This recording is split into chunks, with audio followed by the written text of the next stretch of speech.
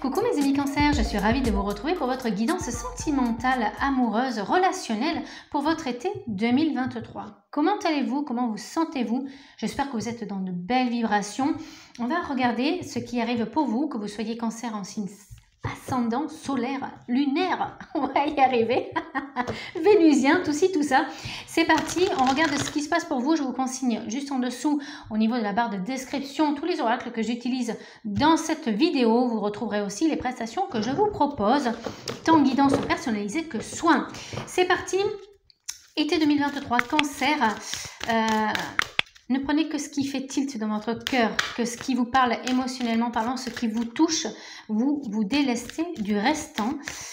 Été 2023, cancer, concrétisation des projets. Là, on est pas mal. Waouh On a des cancers qui ne vont pas par le dos de la cuillère. Donc là, on a des cancers sérieux et sérieuses euh, qui sont déjà en train de construire un habitat, peut-être une maison, euh, des rénovations. Vous en profitez peut-être euh, cet été pour. Alors même si vous êtes célibataire, hein, il y a cette notion d'améliorer votre quotidien, d'améliorer votre habitat, de se sentir bien dans l'optique d'accueillir de nouvelles énergies et pourquoi pas de nouvelles personnes, euh, grands et moins grands. voilà, on peut parler d'enfants. pour moi, c'est on a la notion de l'enfant intérieur. C'est très très amusant parce que j'ai des, euh, vous, êtes vraiment dans les énergies. Euh, vous pétillez de joie, vous pétillez comme un enfant, vous voyez, euh, qui saute dans une flaque de boue, qui, qui, qui, vit vraiment au jour le jour, qui ne se pose pas de questions et qui, qui a besoin de faire un bouquet de pâquerettes à sa maman, euh, qui a besoin euh, de ramener un verre de terre et de dire que c'est le plus beau trésor qu'il a. Eh bien, vous vivez ces instants-là cet été, euh, parce que pour moi, même si vous êtes en couple, vous allez redécouvrir votre âme d'enfant et votre capacité à observer la vie, à contempler tout ce que vous avez autour et d'être dans la gratitude, dans le merci de ce que vous avez acquis et de ce que vous avez entre vos mains dans votre vie, ici et maintenant. C'est extraordinaire comme énergie. Croyez-moi, ça n'arrive pas tout le temps, donc profitez-en. On a des cancers qui sont extrêmement sérieux de toute façon euh, pour construire, pour s'affilier, pour se, j'entends la coopération, c'est même à travers le relationnel. Hein. Vous, avez, euh, vous avez des amis très très très fidèles, vous êtes très euh, honnête, hein, loyal aussi envers envers des personnes qui vous tiennent à cœur. Vous pouvez aussi aider des personnes euh, à concrétiser, euh, bah, pourquoi pas, ou à faire des travaux, euh, donc à concrétiser des projets matériels. On peut avoir ça aussi. D'accord. Qu'est-ce qu'on a pour vous, mes amis? Cancer L'apaisement, donc amour 2023. Donc là, on va parler de quelque chose qui est encore en ligne de mire, c'est-à-dire c'est peut-être une expérience passée, mais on a quand même besoin de continuer cette guérison au niveau du cœur et on a besoin de retrouver cette sérénité. Vous avez été peut-être chamboulé par une expérience passée et elle n'est euh, peut-être pas, comment dire, euh, juste hein, qui vient d'arriver. Euh, si vous êtes célibataire, on peut parler aussi d'amour qui est un petit peu plus lointain. Ça peut se produire il y a 10 ans, il y a 15 ans par exemple c'est toujours une énergie euh, qui est en vous, c'est toujours peut-être un homme ou une femme qui reste dans vos pensées. Il y a peut-être aussi, euh, euh, j'ai cette sensation que vous suivez encore cette personne, même si elle s'est remariée, même si... j'ai peut-être même l'impression qu'elle vous a quitté, elle peut être même dans le monde des étoiles hein, maintenant.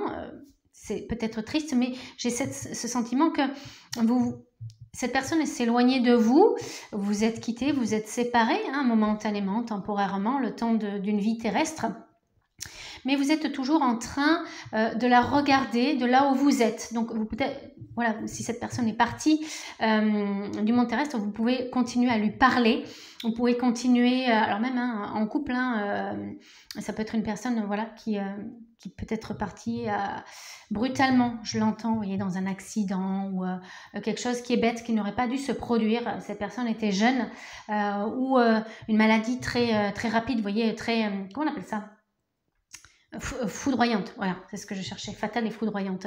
Et, vous êtes toujours en train de, de, vous raccrocher à ces énergies. On est aussi dans le concept d'un ex-partenaire ou une ex-partenaire qui a pu refaire sa vie, reconstruire sa vie et vous êtes toujours, il est toujours dans votre ligne de mire. Vous êtes toujours en train, euh, pas de l'épier, mais vous continuez à regarder ce qui fait, ce qui se passe. Euh, c'est une personne euh, pour laquelle vous avez de, toujours de l'attachement. Hein. C'est pas une personne avec qui vous êtes séparés brutalement et puis c'était le, pire, la pire des ordures. Non, on parle pas de ça. On parle vraiment de d'une énergie. voilà, ça s'est mis fin comme ça. Ça peut être, encore une fois, brutal, mais ça peut être aussi une fin euh, de tous les deux, d'un commun accord. Ok. Alors, euh, j'ai trois cartes qui sont sorties. Et pour moi, ça vous raccroche encore dans, ces énergies. Pour moi, euh, vous faites place nette hein, actuellement. Vous voyez, la séparation, c'est difficile pour vous de même à l'écoute de cette guidance, ça va être difficile de ne plus penser à cette personne. Encore une fois, vous allez vous dire, oui, mais euh, oui, mais ça fait des années que j'essaye d'oublier, ça fait des années que j'essaye de tourner la page, mais je n'y arrive pas. Je n'arrive pas à faire ce, ce deal avec moi-même. Je n'arrive pas à, je n'arrive pas à, à couper. Peut-être qu'il y a encore des énergies. Vous êtes peut-être dans. C'est comme c'est des énergies de deuil et vous n'arrivez pas à faire ce deuil. Vous comprenez? Vous n'arrivez pas à faire cette séparation, ça vous rend triste. Ça, euh, et il y a, y a l'absence aussi, hein. il y, a, y, a, le fait que cette personne, elle n'est plus là. Vous pensez encore à elle, mais, euh, mais j'ai cette sensation quand même que en, vous, en votre fort intérieur, vous avez l'impression d'un non-achèvement, qu'on vous a enlevé euh, quelque chose qui aurait dû se passer. On vous a enlevé votre futur en fait avec cette personne. Vous voyez, vous auriez pu construire quelque chose. Donc là, on a quand même cet été un grand apaisement par rapport à, cette énergie-là. Euh, pour moi, surtout si cette personne est dans les étoiles, elle vous, crie I like you, je t'aime en fait, je continue à t'aimer même si je ne suis plus là. Et euh, il y a une partie de son âme, même s'il a reconstruit sa vie, il y a une partie de son âme qui, euh, qui reste auprès de vous dans, dans ce qu'on pourrait appeler une annale, en fait, comme une annale akashique, mais euh, c'est comme un livre, en fait, un livre de votre histoire.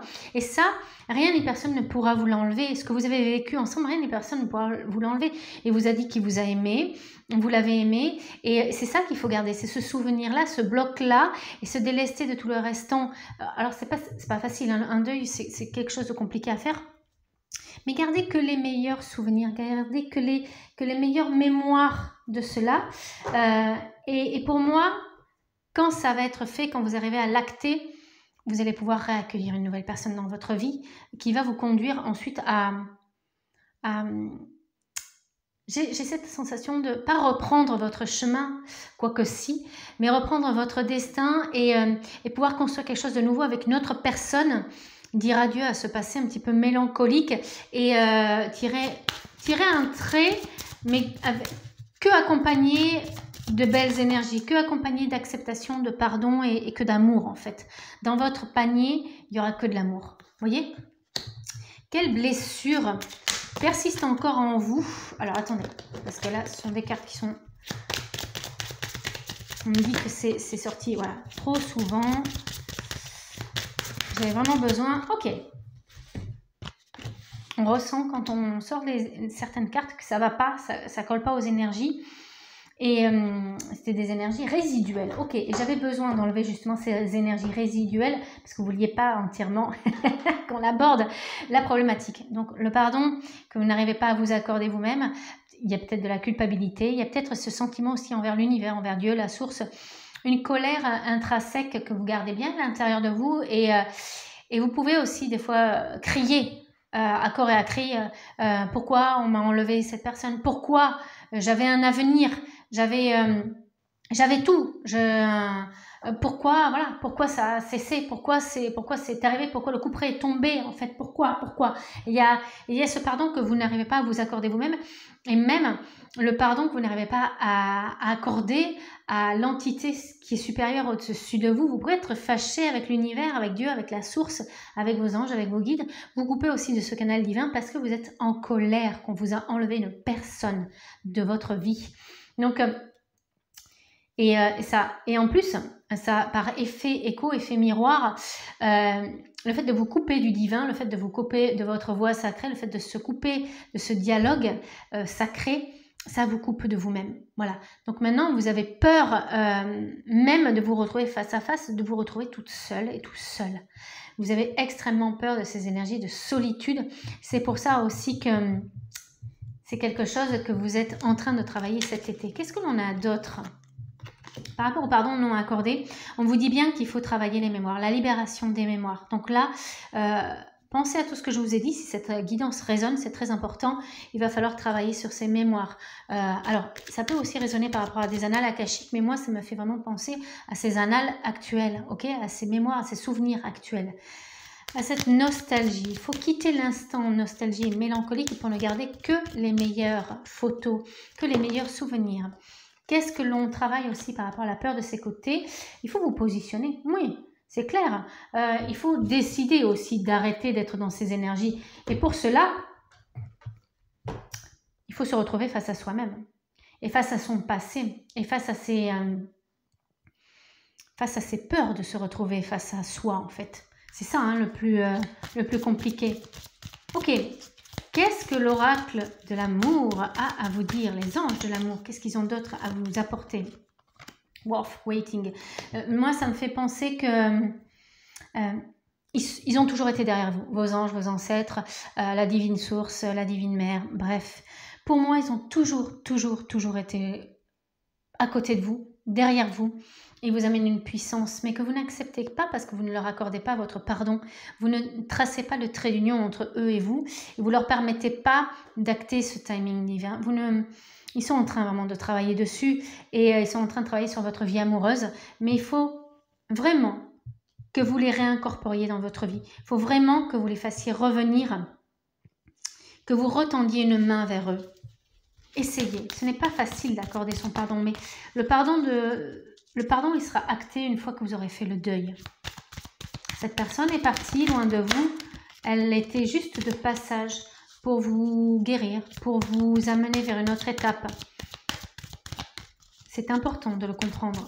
Et même s'il y a ce sentiment de manque, n'oubliez pas, elle fera toujours partie de vous, toujours. C'est indéniable. Qu'est-ce qu'on a d'autre?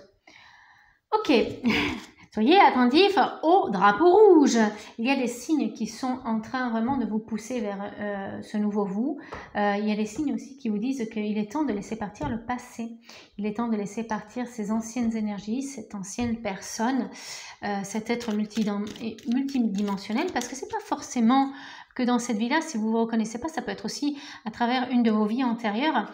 C'est quelque chose de lourd. Vous portez encore ce fardeau, ce manque et euh, il faut se débarrasser de ces énergies-là. Il faut que vous pardonniez. Il faut que vous vous pardonniez.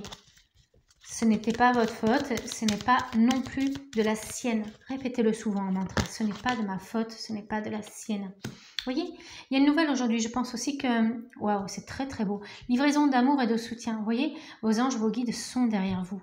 Mais laissez-les rentrer dans votre maison. Oui, vous êtes en train de positionner plein de choses dans votre maison. Vous êtes en train d'aider plein de monde et vous êtes en train de faire place nette, euh, d'agrandir, de faire des travaux pour accéder à des nouvelles personnes qui rentrent dans votre vie.